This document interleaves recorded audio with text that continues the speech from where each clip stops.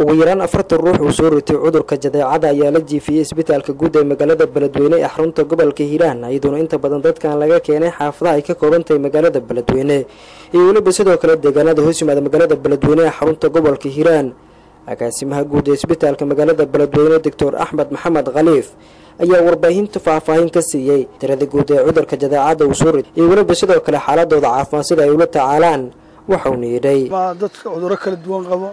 ilmo nafaqa daran iyo qaar maaragtay cuduro mataqaana sida jadeecadoo kale qabo. Runtii waxaway isbitaalka hadda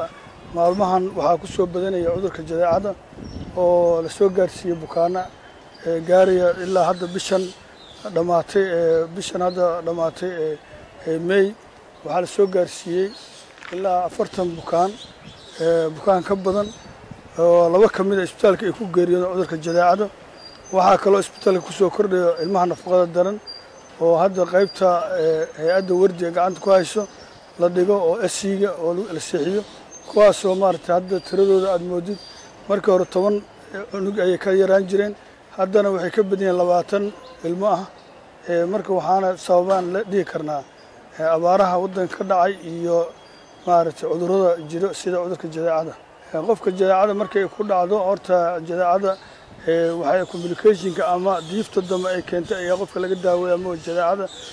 Maaragtay marka horeba waxay leedahay ida in la qofka la siiyo tallaal tallaalka jadeecada la siiyo si cudurka uusan ugu dhicin oo looga hortago. Mar haddii qofka uu ku dhaco qofka markii ay dhibaatada cudurka uu leeyahay sida maaragtay waxaa lagala dariraa in qofkaasi oofureyn ama nimonia ay maaragtay mataqaanaa qofka ay dhibaato u geysato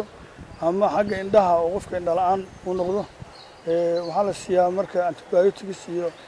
daawooyin vitamin a iyo iyo maaragtay fuuq celin iyo loo sameeya qofka maaragtay waa la nafaqeeyaa xaaladiisa si kor loogu soo qaado. Hadda lafteeda waxaa jira ilmo oo cudurkaas uu ku dhacay oo maaragtay laba ka mida ay indhabeeleen cudurka uu soo ritay jadeecada waxay isku jiraan dad waaweyn iyo dad yaryar. Waxayna u badan yihiin carruurta ay u badan yihiin